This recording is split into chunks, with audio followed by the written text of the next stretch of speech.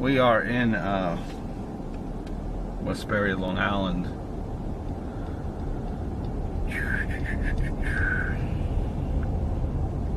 I haven't done these type of a video in uh, probably this is the first time I'm doing this type of a video. Uh, but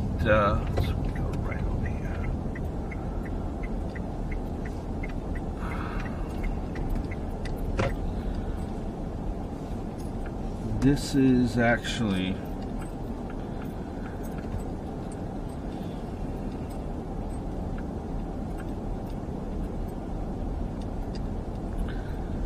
a couple miles away, probably give or take about, um, I don't know, maybe 40, 50, 50 miles um, from uh, outside of New York City. And um,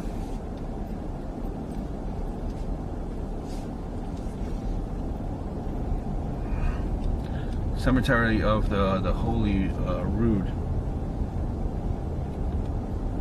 It's spelled R O O D.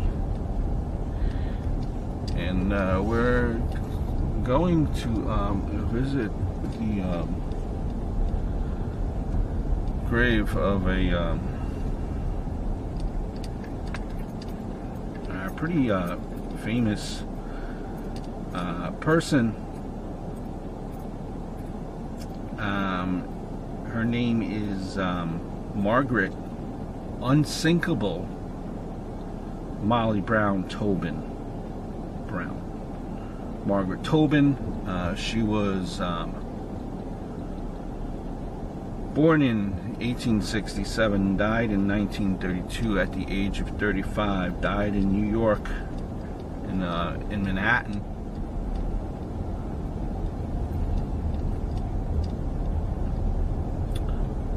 She was a um,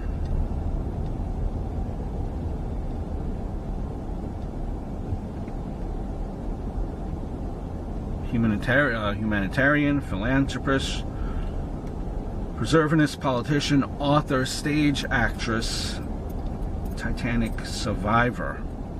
She was born in Hannibal, Missouri. At the age of 19, she went to, Lee, uh, to live in Leedsville, Colorado, with her brother in the summer of 1886. Um, she met um, James J.J. Brown, and they were married in September of 1886.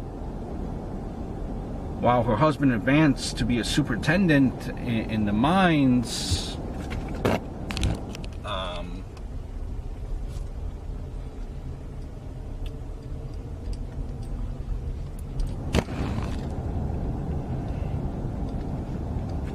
while she, uh, you know, in the mines there, Maggie um, started soup kitchens in the mining community and became active in women's rights. Her husband found a way to mine gold, um, you know, which made them wealthy. And in 1894, Maggie and uh, JJ moved to Denver. Now they went on to uh, Denver.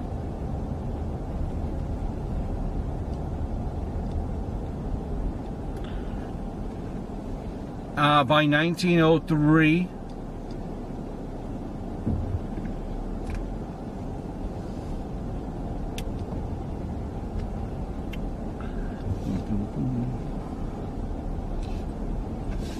Now we're looking for section 15, which I think is right here.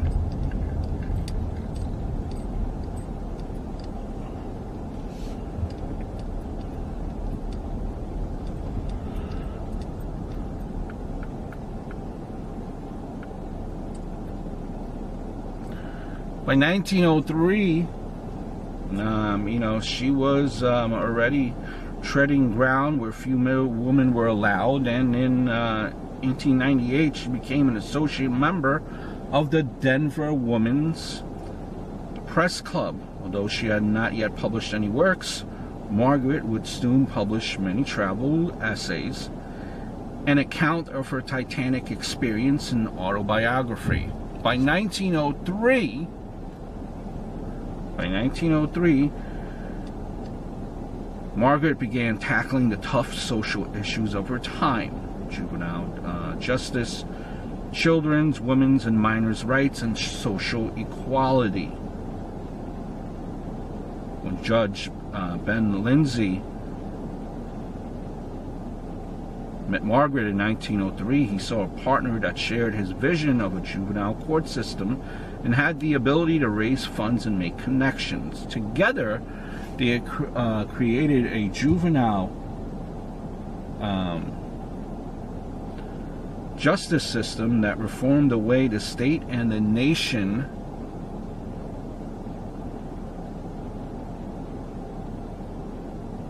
treat juvenile crimes.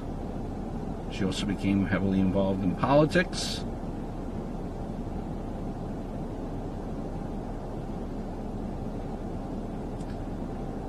Fast forward to April of uh, 1912, she booked passage on the maiden voyage of the RMS Titanic, and shortly before midnight on April the 14th, the Titanic struck ice and sunk.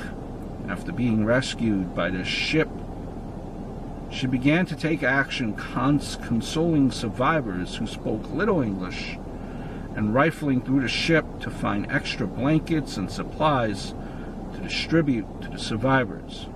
She also compiled lists. Also compiled lists of survivors and arranged for information to be radioed to their families at her expense. Margaret rallied the first class passengers to donate money to help less fortunate passengers, and before um, the Carpathia, which was a ship that rescued uh, Margaret, reached New York, $10,000 had been raised. When interviewed by reporters upon her return and asked what she attributed her survival to, uh, she replied, typical brown luck.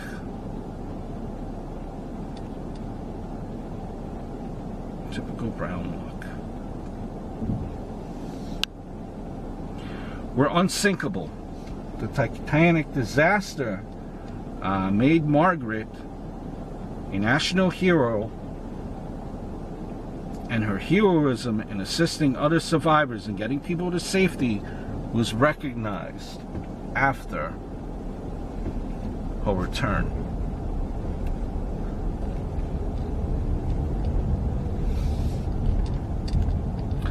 So she was considered, um, you know, a, a hero in uh, what she had done. You know, back then. Imagine just going through that uh, that ordeal and uh, just experiencing a, a disaster, and you, you have to not only keep yourself calm, but she was also trying to keep everyone else on board uh, the ship uh, calm as well, which is, I think, to, to, to, to be said about her character. Um, a leader. You know, um, many people are not um,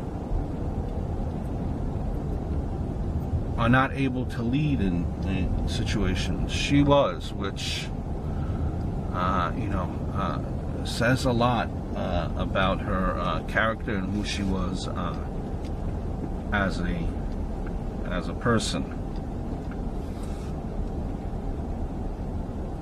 She founded and uh, was head of the Titanic Survivors Committee, which supported immigrants who had lost everything in the disaster, and helped to get a memorial erected to the Titanic survivors in Washington, uh, D.C. In 1914, her bid for U.S. Senate was undertaken by the Congressional Union and endorsed by President of the National Woman Suffrage Association of New York, but she postponed her bid uh, because of World War I.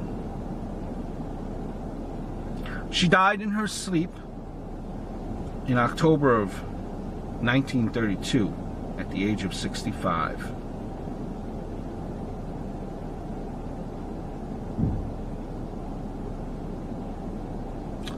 Hero in every uh, sense of the word. Stepping up uh, during a natural uh, disaster. That's for sure.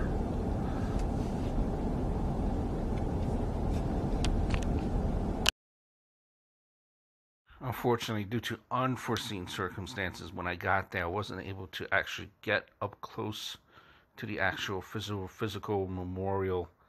Uh, there was a service and social distancing and everything else. But I still wanted to continue to pay tribute, uh, show you the pictures of the final memorial.